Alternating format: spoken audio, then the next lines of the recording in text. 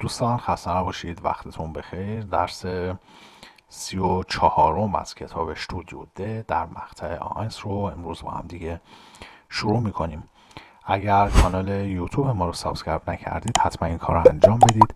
زنگوله کنار subscribe رو هم فشار بدید که محض آپلود جدید هر ویدیو خودتون همون لحظه با خبر بشید. اما امروز درس ششم تمام خواهد شد و ما نیمه از کتاب استودیو ده در مقطع آینس رو تموم می‌کنیم. پس بنابراین بیدرنگ میریم سراغ آخرین بخش از درس ششم. Übungen 6 تمرین های درس ششم.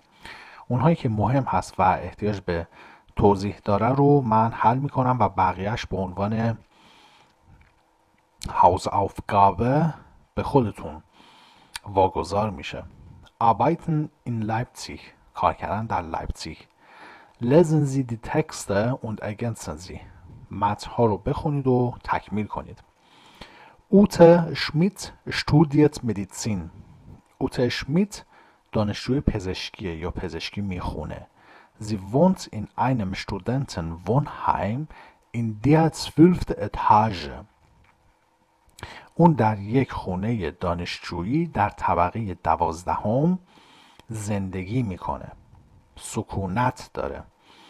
زیگت یدن تک توفوس این دی اونین اون پیاده هر روز به دانشگاه میره. این دی اونی لودویگ فری وونت این بونا اونت آرویتت بای در لایپسیگر فولکس زایتونگ لودویگ فری سکونت داره در برنا و کار می‌کنه در روزنامه لایپسیگی Er kommt jeden Tag mit der S-Bahn nach Leipzig.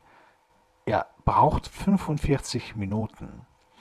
اون هر روز با قطار به لایپزیگ میاد و 45 دقیقه زمان نیاز داره. Gerd Brenner ist Arzt. Gerd Brenner پزشکه. Er arbeitet in einem Krankenhaus und در یک بیمارستان کار می‌کنه in der Uni Klinik in der Riemenstraße در اونی کلینیک ریمنشتراسه Herr Brenner wohnt in Delitzsch und fährt mit dem Auto nach Leipzig. Er braucht eine Stunde. آقای, آقای برنا سکونت داره در دلیچ و رانندگی می‌کنه با ماشین به سمت لایپزیگ اون یک ساعت زمان می‌خواد Gisela Wagner ist Musikerin und arbeitet im Leipziger Gewandhaus Orchester. Gisela Wagner موزیسینه و کار می‌کنه در Gewandhaus Orchesterای لایپزیگی. Sie wohnt in der Schletterstraße اون سکونت داره در خیابون اشلتا und braucht 20 Minuten mit dem Fahrrad. و 20 دقیقه با دوچرخه زمان احتیاج داره خب می‌تونید با همین عکس مقایسه کنید و ببینید چی به چی می‌خوره خیلی مهم نیست نومد 2 دقیقا همونی هست که من در جلسه قبل به شما گفتم شما می‌تونید جایگزین کنید و ببینید چیا رو می‌شناسید اینجا و برای خودتون تمرین کنید. Nummer 3 im Verlagshaus در خانه انتشارات. Finden Sie neun Wörter schreiben Sie die Wörter mit Artikel. خب اینها سر هم نوشته شده و من اینجا اینها رو برای شما نوشتم. هیچ کدوم هم تازگی نداره ولی من برای شما تلفظش رو میگم. Das Marketing das Sekretariat das Verlagshaus, die Kantine, der Chef, die Personalabteilung, der Redakteur, das Büro, die Konferenzräume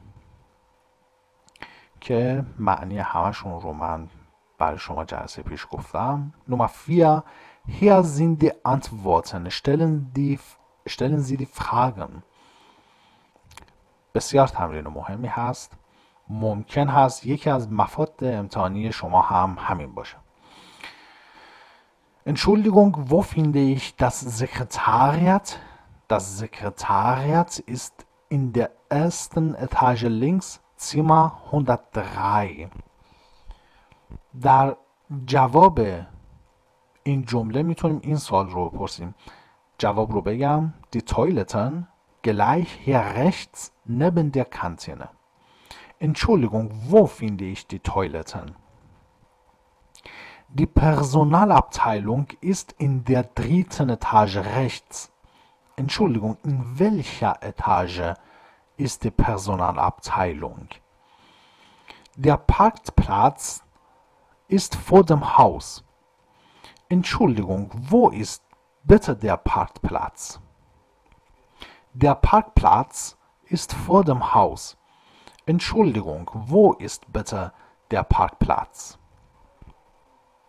خیلی مهم هست این تمرین چهارم رو خیلی کار کنید. نوما 5 نوما 5 هم در مورد همون متنی هست که در مورد همون ist wo hören Sie die Dialoge und notieren Sie به دیالوگ گوش بدید و یادداشت برداری کنید. که در مورد همون متنی هست که در Verlag در Verlagshaus خانه انتشارات هم داشتیم. می‌تونید اون سیدی شنیداری رو گوش بدید و بر خودتون اینجا بنویسید که تمرین خوبی هست. تمرین شش هم تمرین خوبی هست و فقط کافیه از Präposition ها استفاده کنید. این neben unter auf و hinter zwischen و طبق این نمونه ها اینها رو اینجا انجام بدید. انیا مخت eine پارتی. انیا یه پارتی می‌گیره. پارتی گرفتن پارتی ماخن میشه پارتی گرفتن Nummer 7. Ergänzen Sie die Artikel. Ergänzen Sie die Artikel. Monika Schulze wohnt in Fulda und arbeitet in Frankfurt. Sie fährt mindestens mit dem Zug. چرا اینجا دم آورده چون که میت داریم میت چی هست میت در همه حالات بدون هیچ استثنایی داتیف ساز هست manchmal fährt sie aber mit dem Auto اصلا این تمرین میخواد به شما میت رو بگه میخواد به شما بگه که میت داتیو داره میت همیشه داتیوه Uwe Rentschler wohnt in Stuttgart und arbeitet bei Mercedes. Er fährt oft mit der S-Bahn, manchmal fährt er mit dem Bus. Viktor Press ist Student, er fährt gern mit dem Fahrrad. Nummer 8 نمره 8 خیلی مهم نیست می‌تونیم ازش رد بشیم نمره 9 welche Sätze passen kreuzen Sie an? کدوم یکی از این جملات مناسبه علامت بزنید können wir uns im Dezember noch treffen? این یه خورده نیاز به دقت داره و این هم تمرین مهمی هست ما می‌تونیم در ماه دسامبر هنوز همدیگر رو ملاقات کنیم ببینید به سوال دقت کنید و به روش مهندسی معکوس به جواب باید برسید. یعنی گزینه های غلط رو بردارید.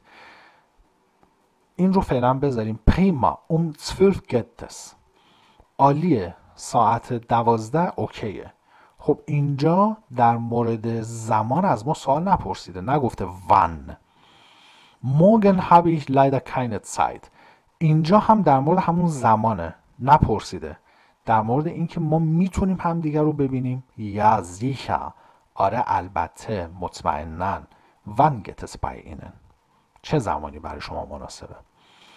ون گتس بای اینن am 1.14 kann ich nicht. در اول ماه چهارم من نمی‌تونم. خب این در کانتینه در سالن غذاخوری اینم نیست um 15 Uhr ببینید اینجا چرا نشده؟ اینجا یعنی وقتی که میگه من اول ماه چهارم نمی‌تونم یعنی از شما در مورد قرار و ترمین و یا ترفن پرسیده شده در مورد اول ماه چهارم و شما میگید در این ماه من نمی‌تونم. بنابراین این غلط هست. Wir müssen den Termin verschieben. ما باید Termin رو به عقب بندازیم. kann ich nicht خب این که اصلا نمیشه. leid da habe ich schon einen Termin این هم نمیشه. این داره میگه که من متاسفم. یه دونه Termin دیگه هم دارم. این بهتر هست. ja okay باشه okay wann passt es bei Ihnen چه زمانی برای شما مناسبه؟ ام دینستاگ ام 10 Uhr geht es bei mir. روز سهشنبه ساعت ده برای من اوکیه یا اون 12 Uhr passt es mir gut. خب اینجا در مورد ساعت دوازده گفته که با ساعت ده اصلا همخونی نداره پس اشتباس گوت دن بیس مونتاگ اما در, جو...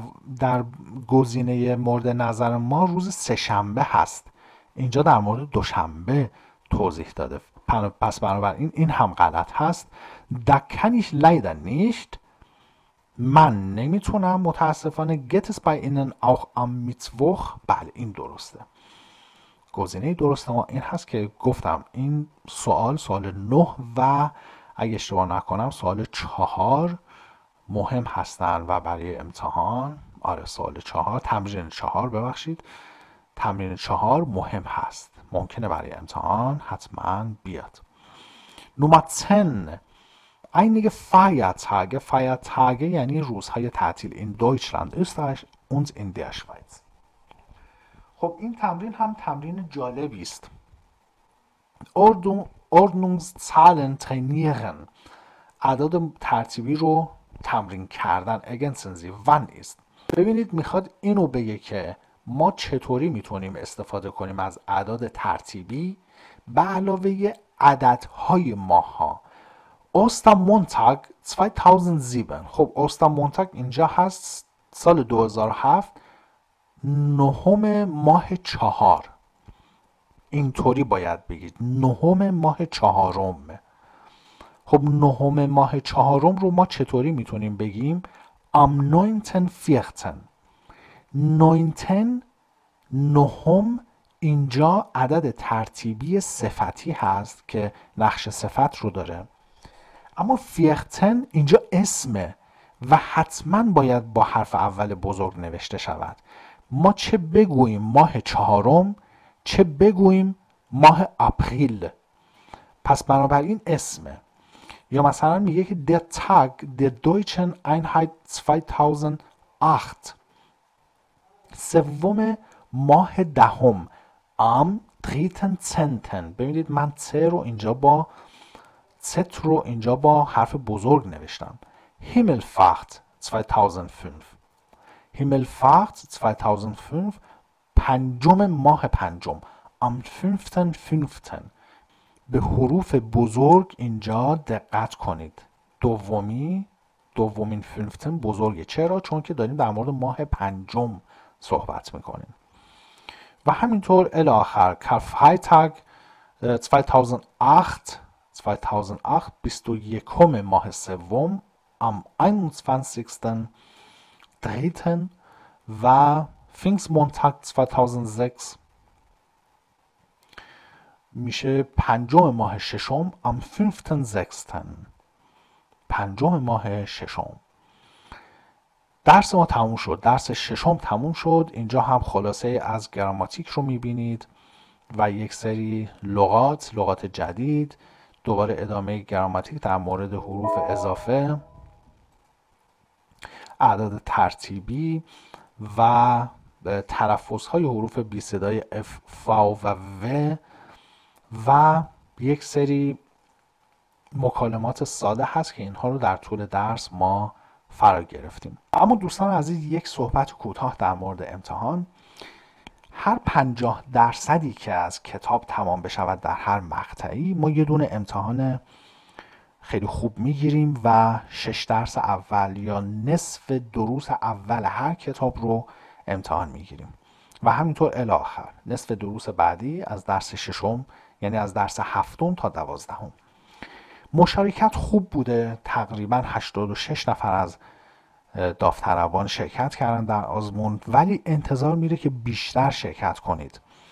از امتحان نترسید. حتی اگر نمره بدی داشته باشید. خودتون رو از قافله امتحان دادن عقب نندازید. اینطوری باعث میشه که از برنامه های آموزش زبان عقب بیفتید و یک زمانی حالا می‌خواید میگید که خب باشه من شش درس رو که هنوز نخوندم بذار من بخونم بعد میرم امتحانش رو میدم. خب این امتحان دیگه گذشته و این امتحان دیگه بر نمیگرده و شما امتحان ها رو یکی یکی پشت سر هم از دست می‌دید.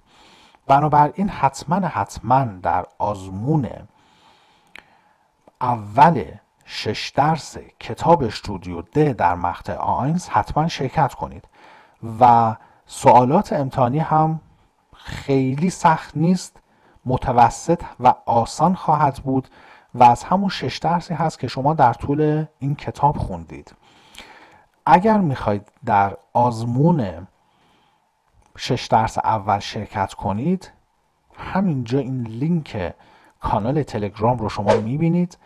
پست های آخر در مورد نحوه برگزاری آزمون بوده و یک لینک گروه آزمون رو هم من قرار دادم که مشخص بشه ما چه تعداد داوطلب داریم و به چه کسانی باید سوال ها رو بدیم و چطور سوال ها رو ازشون بگیریم. در مورد زمان برگزاری آزمون با دوستان عزیز من بعد از آپلود این درس با دوستان عزیز و داوطلبان عزیز صحبت می‌کنیم که چه زمانی مناسب تر هست یک شبیه ساز آزمون رو هم برای برای عزیزان من میفرستم که متوجه بشوند که چطوری باید در آزمون شرکت کنم. بنابراین نترسید هیچ مشکلی نداره.